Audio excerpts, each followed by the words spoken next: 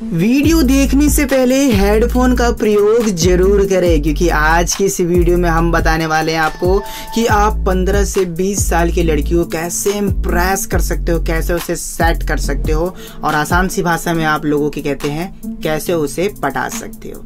जी हाँ क्योंकि आज की इस वीडियो में आपको मैं यही चीज़ बताने वाला हूँ फ्रेंड कि आप इन एज की लड़की को कैसे इम्प्रेस कर सकते हो, वो भी चंद मिनटों में। इन टाइप की लड़की को पटाना कितना ज़्यादा आसान होता है, अगर आप ये प्रोसेसर को सही तरीके तरीके से फॉलो करते हो। मगर इन सबसे हटके आज भाई का जन्मदिन है तो भाई लोग, आप सभी लोगों का मुझे विशेष चाहिए और मुझे जानना है कि कितने लोग मुझसे प्यार करते हैं। तो प्लीज़ यार कमेंट बॉक्स में मुझे भी हैप्पी बर्थडे नाम लिखकर विश ज़रूर करिएगा भाई, क्योंकि आज आपका भाई बहुत खुश है।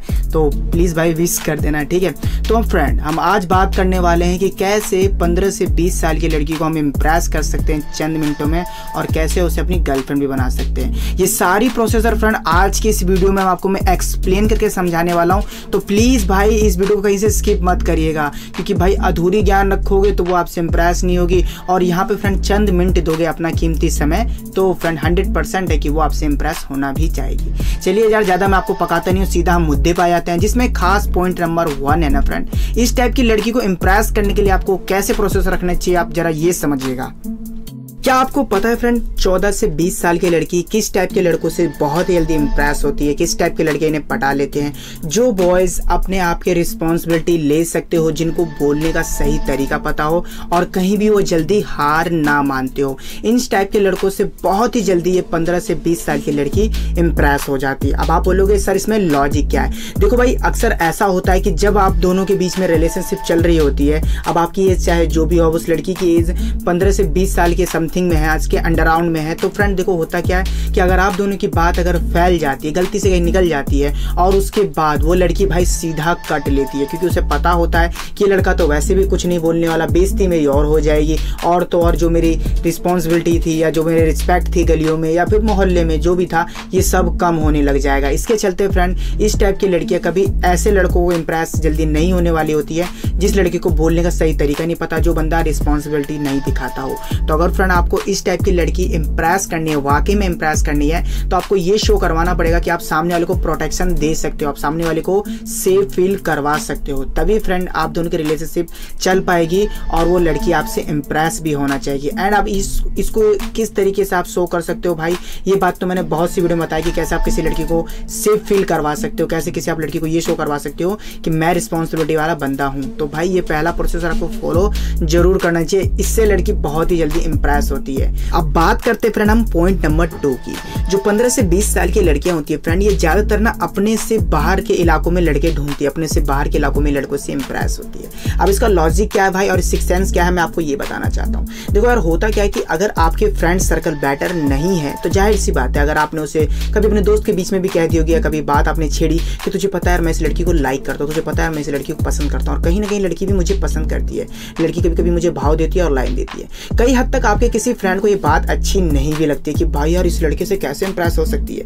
और कितने तो पॉपुलर दोस्त आपके ऐसे होते हैं जो भाई आपका नाम लेके उसे छेड़ने लग जाते हैं, जिसके चलते लड़की बहुत ही ज़्यादा एम्बेरस फील करती है और लड़की का भी अपने मोहल्ले के लड़कों पर ट्रस्ट नहीं होता है। तो भाई, अगर आप ये चाहते हो कि वो लड़की आपसे इंप्रेस हो तो आपका फ्रेंड सर्कल अच्छा होना चाहिए। आपको उसको ये शो करवाना चाहिए कि मतलब मेरे फ्रेंड में कोई ऐसा दोस्त नहीं है जो एवे ही किसी को बेफालतू में छेड़ता रहे या फिर एवे ही किसी से कुछ ऊट पटांग बातें बोल दे। अब यहाँ पर मैं ये नहीं कह रहा कि भाई अपने दोस्त को छोड़ दो बंदी के लिए। नहीं, ऐसा कुछ राय नहीं दे रहा मैं, क्योंकि फ्रेंड्स बहुत इंपॉर्टेंट होते हैं भाई। ठीक है, ये बात समझ लेना।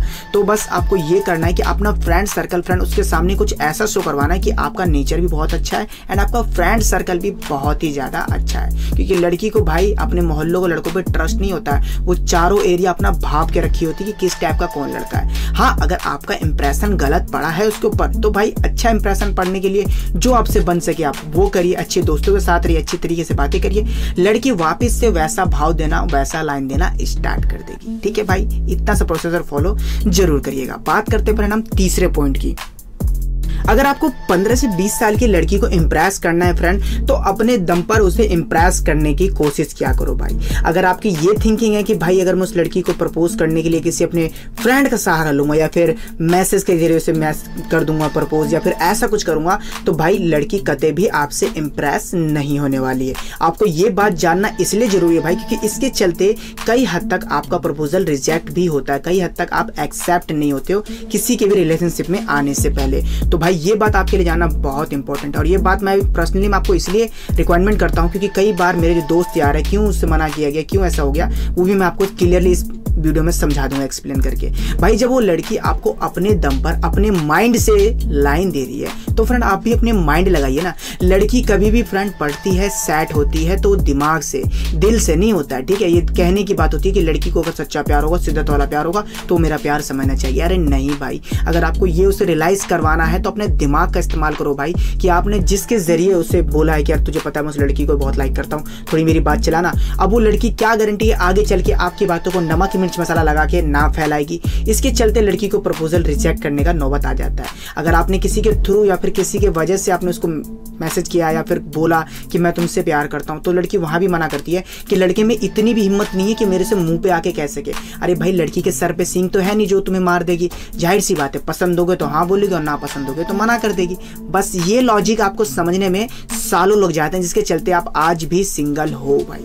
और एक सबसे बड़ा क्वेश्चन जो कि मेरे इंस्टाग्राम पर आप कई बार मुझसे पूछते हो कि, सर, ये जो पंद्रह से बीस साल की लड़की होती है, ये किस टाइप के लड़कों को ज़्यादा पसंद करते हैं? किस टाइप की इसकी रिक्वायरमेंट होती है? तो भाई, एक बात सुन लो, हर किसी को ना फ्रेंड इन टाइप की जो लड़की होती है ज़्यादातर, इनके ब्रांच में ये होता है कि अपने से तीन से चार साल ज़्यादा एज के लड़के पटाना पसंद करती है। इनको ऐसा लगता है कि जब ये तीन से चार साल मेरे से बड़ा रहेगा तो इसने मुझसे ज़्यादा दुनियादारी देख रखी है मुझसे ज़्यादा मिच्योर होगा, मुझसे ज़्यादा समझदार होगा। कल को अगर मैं किसी प्रॉब्लम में फंस जाती हूँ तो ये बंदा मुझे आसानी से निकाल देगा। तो भाई, ये बात अपने माइंड में बैठा लो कि उससे फ्रेंड दो से तीन साल आप बड़े होने चाहिए, तभी वो आपसे इंप्रेस होगी। और फ्रेंड इंप्रेस करने की भी आपको ज़रूरत नहीं, वो खुद ब खुद आपको लाइन देगी, क्योंकि इन लड़कियों की ऐसी ही चॉइस होती है। मैं यहाँ पर आपको एक एग्ज़ाम्पल देता हूँ कि लड़की की एज है अठारह साल। तो लड़की की, जानते हो चॉइस क्या होगी? इक्कीस साल का लड़का होना चाहिए या फिर बाईस साल का। इस लड़के में क्या होता है? दम होता है। इस लड़के में क्या होता है? पैसे होते हैं। इस लड़के में क्या होता है?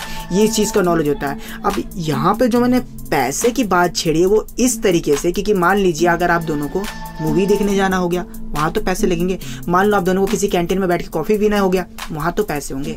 मैं ये मेटर को लेकर पैसे आपको समझा रहा हूँ, ठीक है? तो ये पॉइंट आपको ले जानना, ये दो पॉइंट बहुत ज़रूरी है कि अगर आपने ये दो पॉइंट को सही से फॉलो किया तो आप फ्रेंड पंद्रह से बीस साल की दुनिया की किसी भी लड़की को इम्प्रेस कर सकते हो। एंड में फ्रेंड एक छोटा सा पॉइंट मैं आपको समझाना चाहता हूँ, इस पॉइंट को फॉलो ज़रूर करिएगा भाई, नहीं तो आपकी पूरी मेहनत बेकार है। जब मैंने फ्रेंड इतने सारे आपको प्रोसेस समझा दिए तो छोटी छोटी बातें आपको और ध्यान रखनी चाहिए। कि जिगर फ्रेंड पंद्रह से बीस साल की लड़की को कोई लड़का पसंद आ जाता है तो वो किस तरीके के साइन देती है? क्योंकि ये बात जानना आपके लिए बहुत ज़रूरी है ना? तभी आप समझ पाओगे कि वो लड़की मुझे में इंटरेस्टेड है या नहीं, वो लड़की मुझसे प्यार करती है या नहीं। देखो भाई, इस टाइप की लड़की आपसे फ्रैंकली आकर बात नहीं करने वाली। हर बार आपके साथ हैंड शेक नहीं करने वाली, हर बार आपको ये चीज़ का दिलासा नहीं देने वाली कि यार मैं आपके साथ खड़ी हूँ, मैं आपसे बात करना चाहती हूँ, ऐसा कुछ वो साइन नहीं देने वाली। एक कॉमन सा साइन देगी सबसे पहला साइन तो ये होगा कि वो लड़की आपको बार बार देखना चाहिए कि देखकर स्माइल करेगी। ये साइन तो सभी को पता होता है फ्रेंड इसके अलावा फ्रेंड एक साइन और होता है भाई जो कि आपको ध्यान रखना चाहिए कि वो लड़की अगर आपके, आपको पता है कि इस टाइम पे ये इस रास्ते से होकर गुजरती है, आपको उसी टाइम पे उसी रास्ते से होकर गुजरना है। एक से दो बार और उसका रिएक्शन चेक करना है, क्या वो लड़की नर्वस हो गई? क्या वो लड़की घबरा गई? क्या वो इस लड़की की आँखें तक नहीं उठ रही है? और जब मैं वहाँ से चला जाऊँ तो ये लड़की पलट के देखती है। तो मतलब साफ़ यही है भाई कि वो लड़की आपको पसंद करती है। एक साइन और होगा फ्रेंड की, जैसे कि मान लीजिए आप, आजकल तो ज़्यादातर आप घर पे रह रहे होंगे, मुझे पता है। घर पे रहने के बाद छत पे से अगर आप आपको देख रही है, छत पे देखने के बाद या फिर आपको गली में, मोहल्ले में देख रही है, और गलती से उसके कोई फ्रेंड आ गया या फिर उसका कोई पेरेंट्स आ गया, कोई भी आ गया तो आपको इस तरीके से इग्नोर करेगी, जैसे कि आप उस दुनिया में हो ही नहीं, आपको जानती नहीं है। तो फ्रेंड इस साइन के बेसिक पर आप ये बात श्योर कर सकते हो कि लड़की आप में फुल टू इंटरेस्टेड है, लड़की आपको पसंद करती है, और इस तरीके से आप उसे इंप्रेस भी कर सकते हो। तो आज की इस वीडियो में मैंने पूरा प्रोसेसर आपको एक्सप्लेन करके समझाया। आप लोग मुझे इंस्टाग्राम पर ये नहीं कह सकते कि सर, आपने मुझे एक्सप्लेन नहीं किया। और जिस भाई के मन में थूकने का विचार आ रहा है कमेंट बॉक्स में कि सर आप ये कैसे एजुकेशन दे रहे हो? सर, आप तो जनरेशन खराब कर रहे हो। तो भाई मैंने तो नहीं कहा ना आपको कि ज़बरदस्ती इस वीडियो को देखो, ज़बरदस्ती इस बात को ऊपर अप्लाई करो। अगर आप वाकई में पसंद करते हो, प्यार करते हो तो फ्रेंड आप इस टिप को आजमा सकते हो। अब वीडियो कैसे लगी देखने में मुझे ज़रूर बताइएगा, मगर भाई मुझे विश ज़रूर करना है। हैप्पी बर्थडे ठीक है? अब इसकी स्पेलिंग तो आपको पता ही होगी भाई। तो विश ज़रूर करना भाई, क्योंकि मुझे इंतज़ार रहेगा। मैं देखना चाहता हूँ कि मुझसे कितने लोग प्यार करते हैं। तो कर देना भाई, ठीक है? अब मुझे फ़र्क नहीं पड़ता, चाहे वो एक कमेंट हो, चाहे वो दो कमेंट हो। आप जितने भी कमेंट करना चाहो, दिल से खुशी होगी भाई। और किसी एक बंदे का जिसका कमेंट मुझे दिल को छू जाए, उसको मैं पिन करूँगा। तो कमेंट ज़रूर करना भाई, ठीक है? और वीडियो कैसे लगी दिखने में मुझे बताना। वीडियो पर करना एक लाइक अपनी तरफ़ से, चैनल पर नए हो तो सब्सक्राइब करना बेल नोटिफिकेशन कॉल पर प्रेस कर देना। और दोस्त कहते वीडियो शेयर ज़रूर करिएगा अगर आपको ये बात एजुकेशन वाली लगी हो तो। Thanks for watching